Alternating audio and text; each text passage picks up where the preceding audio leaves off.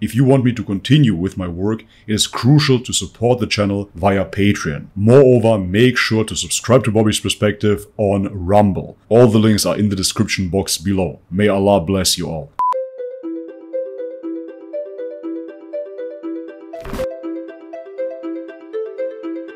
Oh. Alright guys, welcome back to the channel if you're new, my name is Bobby. Guys, today we're gonna watch how an ex-Muslim girl completely exposes Islam. Yes, I'm absolutely sure she will. Just by her little YouTube video today, she will dismantle 1400 years of Islam and end it today, of course. Guys, before we jump into the video, do me the favor, if you enjoy my work over here, leave me a thumbs up, subscribe to the channel if you haven't already, and please check out the links in the description box. Alright, now with no further ado, let's have a look. Oh, thank you. Appreciate it. Yeah. So, Yes, yes, you're looking pretty. That's what attracted us to you. Let me give you some more compliments. trying to know like what you believe in, what makes you believe in what you believe, and why are you doing what you do. Actually, for me, I, I like I don't have any religions or I'm agnostic because I was before Muslim. Wow. Yeah, I've, I've, I've been Muslim Wow. like for a long time.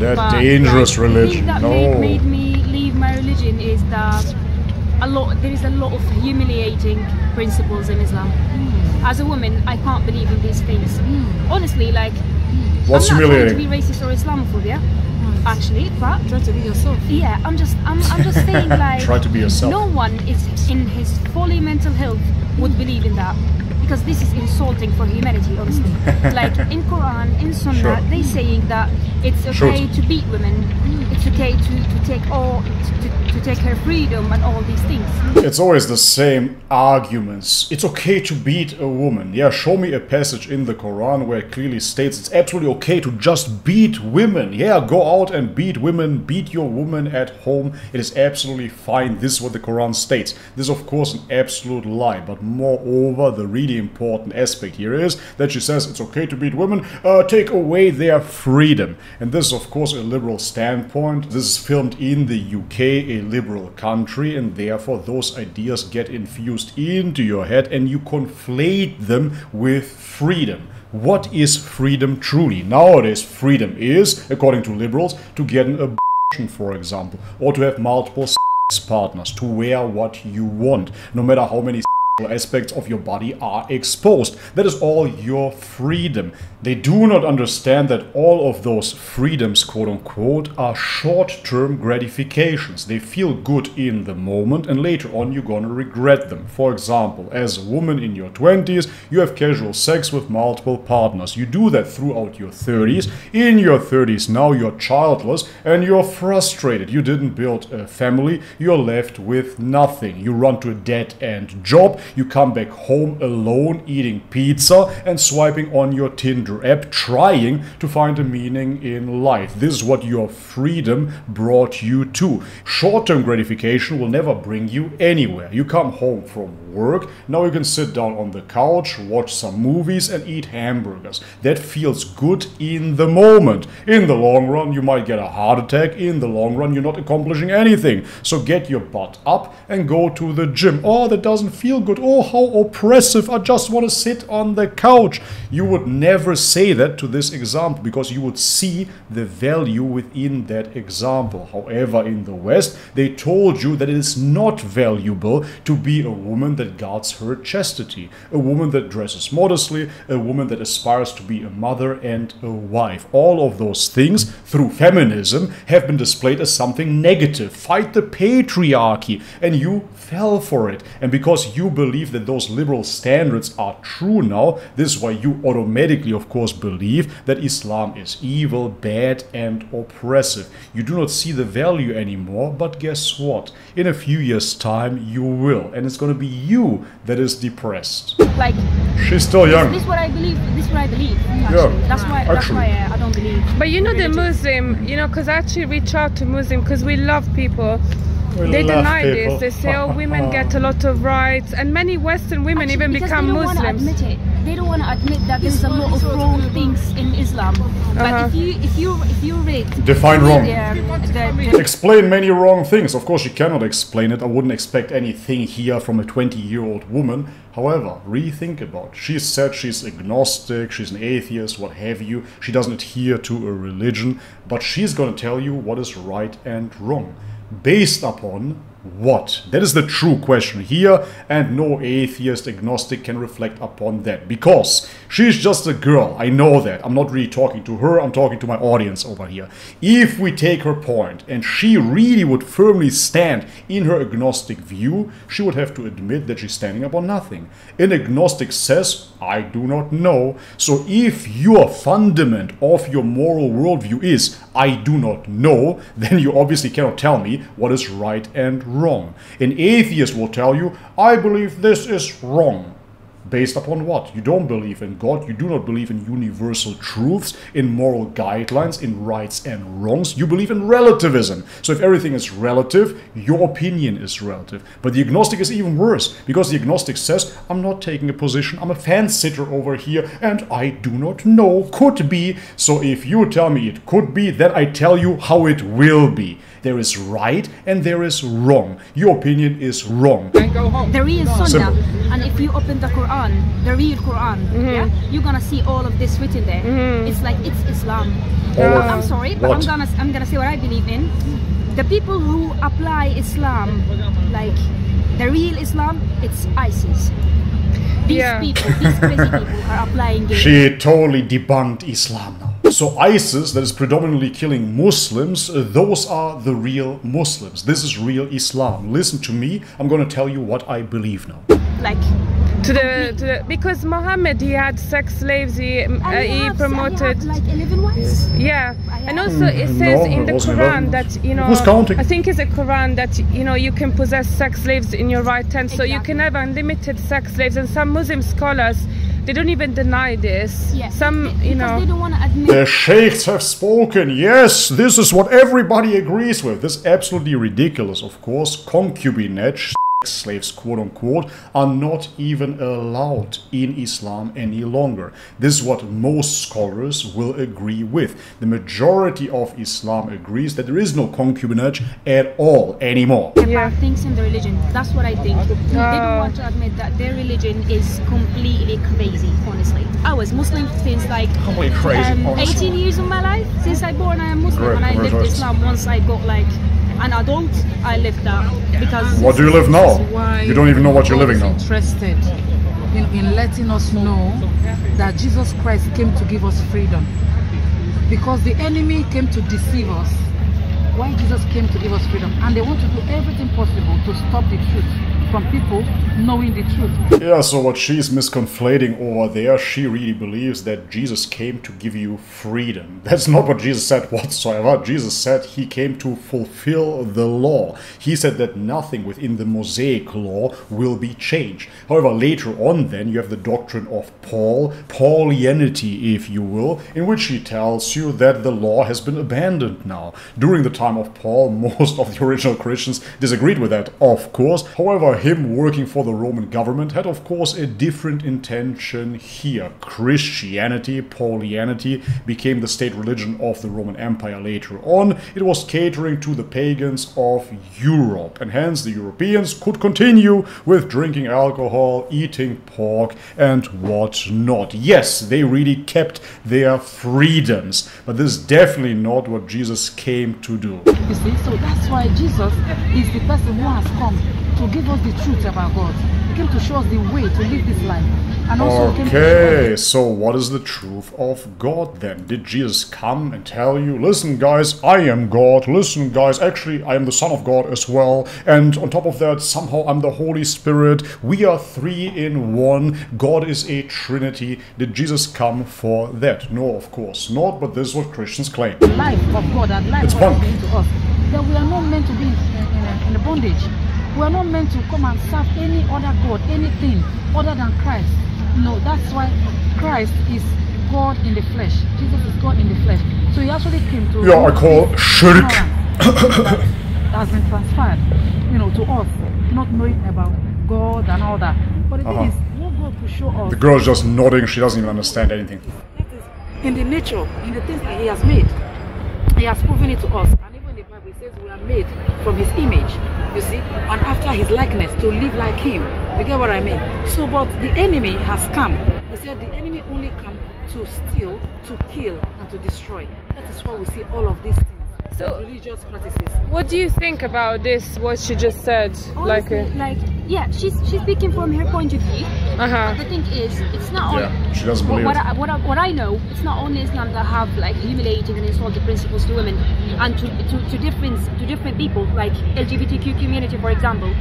Like all the religions, if, if you are Jewish, if you are Christian, if you are Muslim, they all the religions they, they admit that like This is the first correct thing that she said. Yes, Judaism, Christianity, and Islam, all of them in their core have a stance against quote unquote ism. The Bible has the clearest stance of it. If you read in Leviticus, you will see if you see a man laying with another man as he lay with a woman, you should surely put them to death. This is what the Bible says, and therefore, yes, Sexuality is condemned in all of the three major Abrahamic faiths. That's just what it is. And if Christians tell you this is not the case, if Jews tell you that's not the case, or even if Muslims tell you that is not the case, then they're of course lying.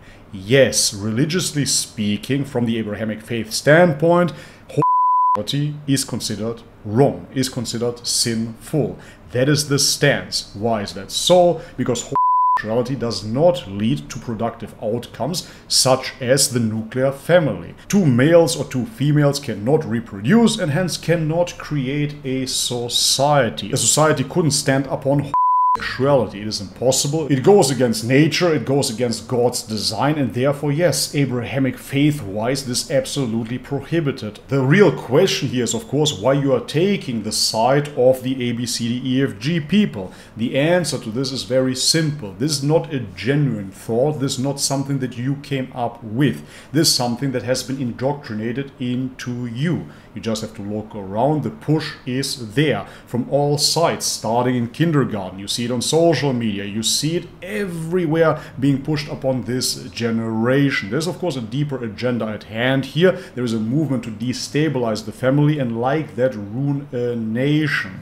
And this is all I can say over here on this platform. Let's proceed with the video. To, to clarify, I I know know. about religion. Uh huh. You see? Yeah. So the religion So- thing is so to limit people from getting the truth. Mm. So, but the thing Yeah, is, yeah, yeah, exactly. Let's get back to that. Let's talk about the truth yet again. Let's not talk about homosexuality within Christianity. Let's not talk about what the Bible says about homosexuals. The Quran does not word it like the Bible. The Quran does not say, surely put them to death, you're an abomination. That's not what the Quran says. Those are the words of the Bible. The Christians want to pretend they're all so nice, so warm and loving. Let's talk about the truth of Jesus. Preach, sister. it's God who has determined it, you see? So that is more reason why we need to read ourselves here, and then God will reveal the truth to us. So if we want to use our standard and feel, oh, this person is doing good, so The girl right, doesn't get anything. that is right, then we are also wrong. You see, that's why we can't even get the freedom we are looking for.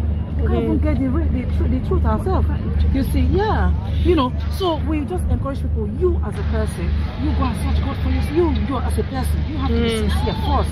It starts from being the, being truthful to yourself and say, God, if you are God, please reveal to me. Yeah, If we would find That's invite what Christians Yeah. say all the time, man. When I was still an Orthodox Christian, guess what? I wanted to stay an Orthodox Christian, and back then I spoke about this multiple times. I actually hated Islam. May Allah forgive me. So, therefore, I didn't want to become a Muslim. Even after reading the Quran, I was struggling every day. I saw the truth within the Quran, but I told myself, man, Christianity must be right. How can I stay within this religion? So, I tried, even though I tried already three years prior to this, I still tried every day to pray to Jesus and ask God who He truly is. God, please, God, show me who you are. Are you Allah or are you Jesus? Please, please reveal yourself to me.